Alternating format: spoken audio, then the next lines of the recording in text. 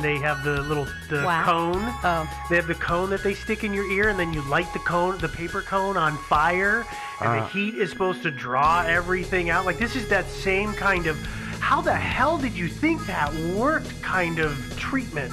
Yeah, I don't know. Uh, it, it, it, it could just be like it's uh, a little bit of heat to something To that's sore. it, Kind yeah. of kind of makes it feel temporarily better. You know, that's, I mean, that's why eventually they, that's why they came out, uh, out with the idea of bleeding people because it actually short term produced good results. You- Because you drain a bunch of blood out of somebody, he feels kind of lightheaded and kind of high. Yeah, you're kind of hypoxic. Is that the right word? I don't know. No, it's I'll, not the right I'll word, accept but- that one, and that's good enough for me. But, uh, uh, but you know, and so people go, "Yeah, wow, I feel kind of high." Yeah, you know. Because your so- blood pressure's dropped. Yeah, exactly. You're just out of it. And so they started thinking, "Hey, let's drain blood out of them. That'll make them better." And so, yeah, I, I, it's hard to say how many people died from getting bled like that. I Mhm. mean, there's there's a theory out there that George Washington was killed by his doctor because, yeah, he was sick, and the doctors just kept taking blood and taking blood and taking blood.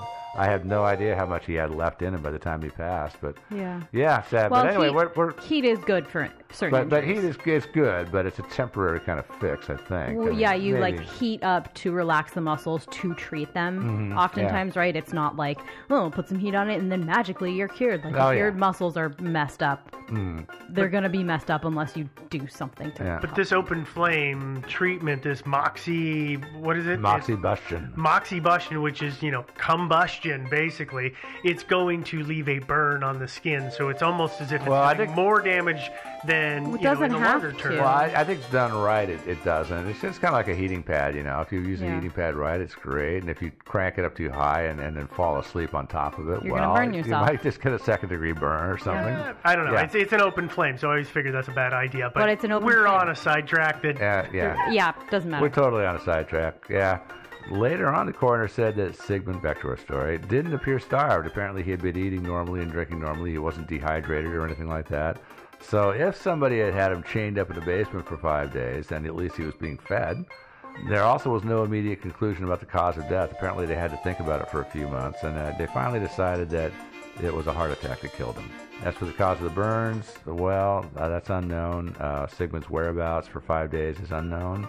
How he wound up in that coal pile, unknown. And the mysterious green ointment, well, you know, nobody knows what that was either. they were sure it was Jelly. ointment. It wasn't like a weird miscolored pus or something. But they were Sorry, pretty- that's a gross They question. seemed to feel like it was some sort of some sort of It's like a greeny- salve It wasn't thing. greenish in the sort of pus sense. It was more like an ointment, kind of clearish, but with a tint Mm. with a tint to it. I think. Yeah, I mean, yeah. So. Okay. Yeah, hopefully, Alright. hopefully a doctor can tell the difference between ointment and pus. I would hope that. Well, I mean, I guess pus probably isn't their word, but you know, like when you get a blister and it fills up with that like clear Ugh, liquid gross or stuff. whatever. Oh, yeah, yeah. You know, because if he had had a burn, it could have Mhm. blistered, and it Yeah. could have been the remnants of like the clear goo. Yeah, I but I, I, don't yeah. know. It wouldn't have been green. no, green would be a sign of a larger issue, and that would have been uh, apparent, I would presume. Well, Yeah, like- larger. like I mean, alien he was dead. So Yeah, he was dead. There was a sign of a larger issue already. I so- say, is there a larger issue? Oh, yes, there is actually. He's dead. yeah. yeah. You have an infection, But interesting. it's too late. Okay. Yeah, All right. yeah, yeah. So we have theories. There, uh, people have uh, got a lot of theories about this one. Uh, first, the first theory. This is uh, a big favorite out there, which is UFOs. Uh, Yeah. Yeah. So Sigmund was abducted by a UFO. He died of fright from his experience, uh, and they dropped his body on the coal pile and hightailed it out of there. And yeah, so the evidence for this is it did not appear that Sigmund had climbed the coal pile, and also Uh, another- could, oh, would you- when do you want to talk about that coal pile? yeah, yeah. Oh. I, I have huge issues with the nobody climbed the coal pile. Oh, okay, yeah. No, I've, I've wondered about that one too, to be honest. Okay, finish this But, part, uh, then we'll but go back. We'll, We'll we'll talk back. about we'll talk about the evidence for this. Okay, Yeah. okay. Yeah. Also, uh, his last name was Adamski, and it turns out there's a very famous ufologist or is that ufologist, I can't remember. Ufologist. Ufologist named George Adamski. I think he was. I don't know if he was dead by that time or not. He's He died now. in 1965, so Oh, okay. he was, He was pretty dead. dead. Yeah, uh, and so according to the papers, at least, that can't be a coincidence. So the abduction in this theory could possibly have been a case of mistaken identity. and mistaken time. Yeah, stupid alien. yeah. they looked in the phone book. Went, Yeah. Oh, there he is. Yeah. Uh, and the aliens would account for the strange burns too. It might be one of them in the spaceship was playing with a phased plasma rifle in the 40 watt range and maybe had a gun accident. Uh, and the yeah, and the only one on the Burns, of course, was unide- unidentifiable because it was alien in origin. well, Um, it could have been the neck rib, right? It could have been like a, a holding device Uh, that overheated and Yeah, it could have been something like that too. caused some burn. I don't know. I, I'm just loving the idea of the aliens. Like, oh crap, oh crap, we killed him. What are we gonna do? Quick, get rid of the body. we get rid of the body. Where are we gonna dump it? Well, it says, says here it's a coal miner. Okay, there's a pile of coal over there. Quick, let's get out of here. that looks like a soft place for him. Yeah, drop him. Uh, uh, okay. Uh, of course, another reason the ointment might not have been identified is the coroner didn't try too hard to. Again, I don't know how much testing they did of that. It could It have just really been doesn't sound like they tried very hard at No, all. it could have been they just sort of smelled it and said, "Huh, doesn't smell like anything I know of," and that's about it. Well, Uh, and remember, this is 1980, so it's not as if they can just stick it in the mass spectrometer or whatever it is. It is a mass spectrometer. yeah. That's what it's called. Okay, I was guessing that the name, but it's not like they can just take a sample and pop it in there and figure out what its base components is, and just like CSI, go, boop, boop, boop. oh, it's used in this and that and this and that. We know what it is. No, it's Well, 1980. It's yeah, like, exactly. uh, all I know is it's this. It looks well, like this. Yeah, typically, you know, when it comes to testing for this or testing for that, it's like you have to actually be looking for it. Mm-hmm. So, you know, you can't just pop it in there and then it just says, oh, it's this. You know, you test to see if it's this, this, this, or this. And if it doesn't fall under one of those things, well, okay, what we can do some more testing, or we can just say, hey, we don't care. Yeah. I mean, yeah, finding It's- ointments on burns is not exactly, you know, a, a big deal. It's not a huge thing. Yeah. But you were talking about about the, the whole no marks on pile? the coal pile. Yeah, so th- this is the biggest load of hooey I've ever heard of. Okay. Mm-hmm. Okay, Tell me more. Joe, Yeah. tell me this. Where was this coal pile located again? It was uh, located uh, next to the train tracks and next to the train station. Okay, and what do trains do when they're moving? The trains do, they go, Chicka, chicka, chicka, chicka, Okay, chicka, well, chicka, th- chicka. Yeah, those exactly. two, those things are correct, but they also they cause a lot of vibrations Oh, yeah. in their starting and stopping processes. and if you've ever seen a pile of anything that's about the size of these coal nuggets, Mm-hmm. or something that makes a lot of vibration, those piles move. So it Yeah. could very easily have been one and two trains came in and out of the station, and that was enough to Yeah, to could have been, soften the indentations that were done by somebody's feet. yeah, or a little a little rainfall perhaps. You know, Well, I mean, and, all and kinds of think about it, the, the paramedics come running up, so they've already disturbed the scene. So Yeah. the fact that there's no indentations. I was gonna say, water. I Yeah. just, yeah, I think you know they probably said to the paramedics like, which one of like are those yours? And they said, probably. Yeah, but the thing about it is too is that if you're standing at the base of your paramedic, and the body is like say you know 180 feet up. degrees, yeah, or, yeah, 10 feet up, and it's like 90 degrees around the pile. You don't go up here and then over the body. You go around to the base below the body and go straight up. Right. So it might have been that they traced right over the tracks. Exactly. Uh, That's yeah. yeah. So that's Yeah. I'm like I'm thinking that that much activity in that area probably softened the indentations, and then Yeah. you got these guys who first responders' job is to get to the body and help the individual. They can't be completely, uh, you know, they can't do. Oh, oh, we've got to take this, secure this. Ra-. They no. Yeah, maybe not. I don't know. Of course, I, I you know, I don't, I don't know if they climbed up there. They might have, they might have thought, you know, that looks dangerous. So we'll just throw rocks. at, we'll just throw rocks at the body until it slides down to us. Okay. Uh, yeah, I don't think that happened either. Probably not. They probably Okay. did climb Especially if you think they turned him over. Yeah, they did turn. they would have over, had to have actually touched climbed him. up. Yeah, I think so. But uh, and also, Alan, and uh, as far as the UFO theory goes, you remember Alan Godfrey, the policeman who was Uh-huh. involved in the, the Todmorden UFO incident? Oh yeah. Yeah, well, he was, as I said, also on the scene for this crime, uh, and he's, he's familiar with this case. He was interviewed actually years later about this, and he is, he said it was quote a load of rubbish, referring to the UFO Huh. theory. Well, there you go. Yeah, so even though Godfrey himself, you know, totally believes he encountered a UFO, he's, he's, he's not, not buying into it in this particular case. Okay. Mm-hmm. Yeah. Uh, this is, this is not, there's another theory out there that I found on Reddit, of all places, which is that he had a stroke. And uh, he had a stroke while he was shopping for groceries and just sort of wandered off in a daze. And then some good Samaritans took him in and took care of him, hoping that he'd come to his senses and that they could get him back to wherever he belonged. But then when he croaked after five days, they decided to get rid of the body. because apparently, even though they were good Samaritans, they weren't quite actually that good, and they wanted to avoid contact with the police. So, anyway, what do you guys think of that theory? Well, he could have wandered away from the Good Samaritan home on his own and sure, they did. croaked Yeah. on the. I mean, you know, he could have saw the coal and thought, "Oh, I know that. Why do I know that? Mm, I'm gonna climb up there and Yeah, yeah, see." it's cool. Something familiar. Yeah. I, Yeah. I, I thought strokes tended to leave some pretty obvious signs. Oh yeah, oh yeah, for sure. And uh, I, I'm sure since they were a little iffy on the cause of death, I'm sure they looked at his brain in the Yeah. autopsy, and apparently I, there, there was no evidence of a stroke that showed up in the autopsy. Huh.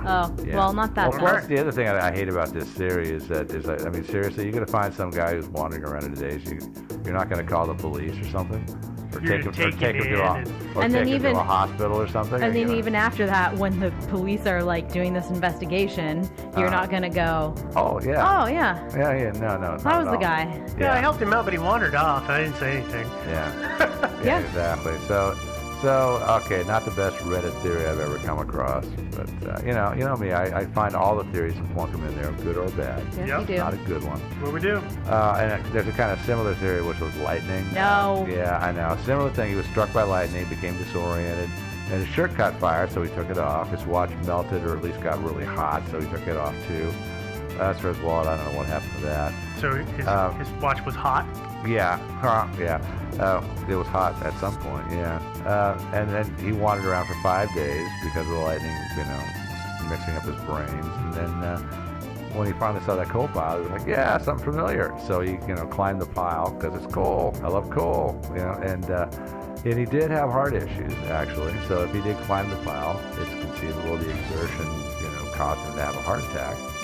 Nothing Well- else about this theory makes any sense. I was gonna say because you know if if a stroke leaves a whole lot of evidence, getting struck by lightning you would think. is gonna leave way more evidence on your body. Mhm.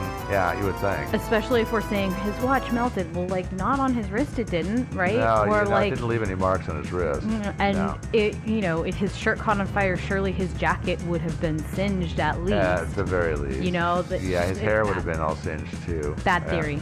Yeah, so another another terrible theory, the lightning one.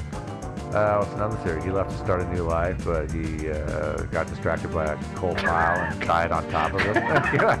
He just loved coal so much. Yeah, I know. Yeah, he did. And so, oh, I can't believe. Oh, it- well, it could have been. He's leaving to start a new life. He's saying goodbye not just to his wife and his family, but also to coal. And you know, he had to go reminisce with the coal pile just a little bit longer before he left. And had a heart attack and died. I Wanna move on. I like this theory. That's it for this episode. Uh, yeah. Uh, suicide? No, I'm not buying that one. No. What, you No, there's, No. there's nothing. Yeah. Uh, another possibility is Sigmund had a girlfriend. Supposing he wasn't as into the wedding and the whole family scene as everybody thought, maybe. And this is conceivable. I mean, there are people out there who lead double lives. Uh, so maybe he just thought, and, and there was a little bit of tension in the family over the wedding, frankly, Yep. I, I had heard. And so maybe he decided, you know, screw this, screw these people. I'm just going to go to my girlfriend's and just hang out there for several days, you know, and, and just blow the whole thing off. And then at some point, well, you know, he was going to go home, but then he has this heart attack and dies. And then whoever he was staying with just says, ooh, uh, this is going to be put the clothes on, dump it. This might explain the shirt being gone because I'm thinking that dressing somebody in their vest and their jacket is not, is, probably not that easy if they're dead either. But I mean, uh, the shirt would be comparatively harder, I would think. hmm So, or Probably. maybe the, maybe the shirt had lipstick on it or some other kind of DNA evidence. So, The, the hard part about this, well, by the way, I don't remember seeing this anywhere else, but I was thinking about, like, you know, people who have a thing on the side, usually they don't want to mix their two lives because it's an outlet and an escape. And by doing what you've you've theorized he would have done of saying, "Screw it, I'm just going to hang out here the whole time," and those people can just blow off. Uh-huh. Well, that lets the the genie out of the bottle. Everybody now knows that you're screwing around, and suddenly you don't get that that best of both worlds that people who do this are after. well, that, that is the I mean, whole it thing. flies in the face of why he would have, uh, you know, a girl on the side. Well, exactly. That, that is the problem. Is that if he had a girl on the side, he would have been more discreet about it. He wouldn't have Yeah. gone over to her place for five days. Well, here's something I will bring up, which isn't is not a nice truth to be facing, but Yeah. there are people in this world who, when faced with um, the serious illness of a spouse, Yeah. par- particularly one that's potentially getting progressively worse and worse, Oh yeah. just run away instead of staying around to take more and more care of that person. So it's mm-hmm. possible that he'd had this girlfriend and you know she was fulfilling the needs that his wife wasn't anymore because she wasn't able to anymore and was just realizing, "Oh my god, I can't take care of my wife anymore." And that's why he ran off and he was intending to run off forever. It's possible. Yeah, it's it's not possible. likely, but it's more possible than I mean it, it helps explain why he might have gone, you know, just Yeah. been okay with exposing quote unquote the double life that he was just ready to leave. But Mm-hmm. again, I don't I don't think it's a good theory. No. No, it's uh, there's no not really much of anything in the way of evidence for it. I mean, it- you know, it does account for a few things like the body being a, being apparently sort of looks like the body might have been dressed by somebody else after death, maybe. So it would kind of account for that. It doesn't explain where the body turned up on top of a coal. Oh no, not at all. That's not the discreet. That's not the, the way I would choose to dump a body. Yeah. Uh, because they were talking about like in a locked coal yard on, and dragging it up to the top of a coal pile, right next to some train tracks at a train station. Well, and not discreet. I guess, and the other thing for me, when we talk about all of these theories that had, don't have him going to the coal pile on his own, Mm-hmm. I, I'm I'm willing to say like it would have been really easy for one set of tracks to disappear, but the set of you know some person dragging a body up a coal thing seems a little more like that would have been more obvious, but it does. maybe not. It it's, it does seem to me like most likely he got up there on his under his own power. Because why the hell would anybody else drag somebody's dead body up to the top See, of I? I I still question that they. Okay, let's just run down this this this alley. I don't actually think that if he was already dead when he got to the coal yard, that they necessarily had to drag him in. Because what was the guy who um, was running the the coal yard? Trevor Parker. Okay, Trevor Parker's job may have been to shut and lock the gates. But hmm. Trevor Parker may not have been good at fulfilling all of his duties, and so he shut the gate. He did not, however, lock it, and therefore somebody could be like, oh yeah, that guy always shuts the gate, but he doesn't lock it.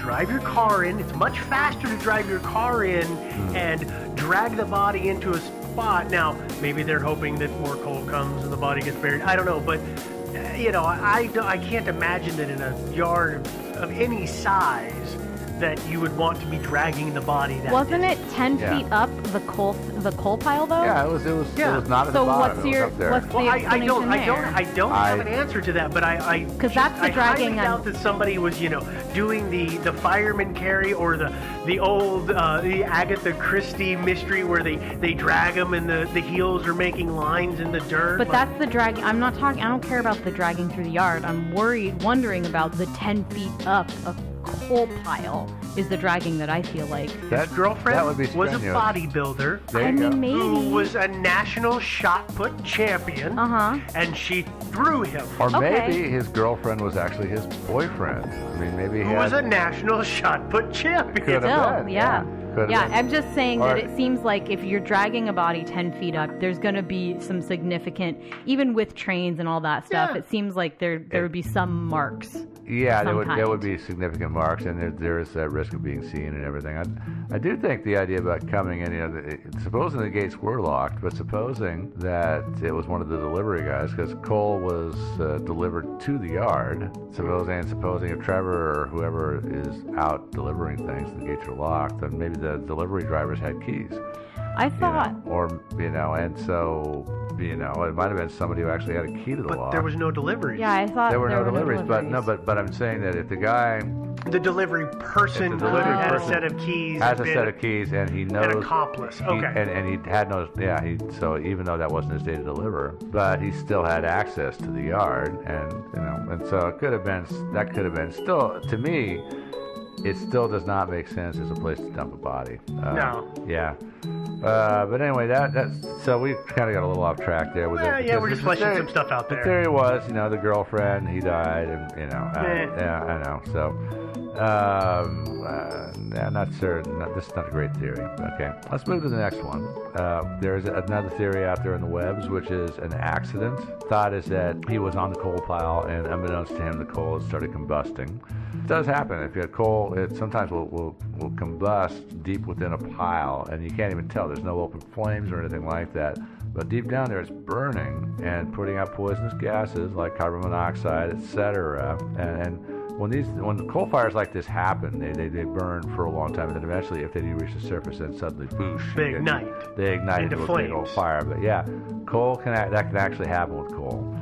Uh, and so maybe Sigmund, for whatever reason, was on the pile and inhaled carbon monoxide.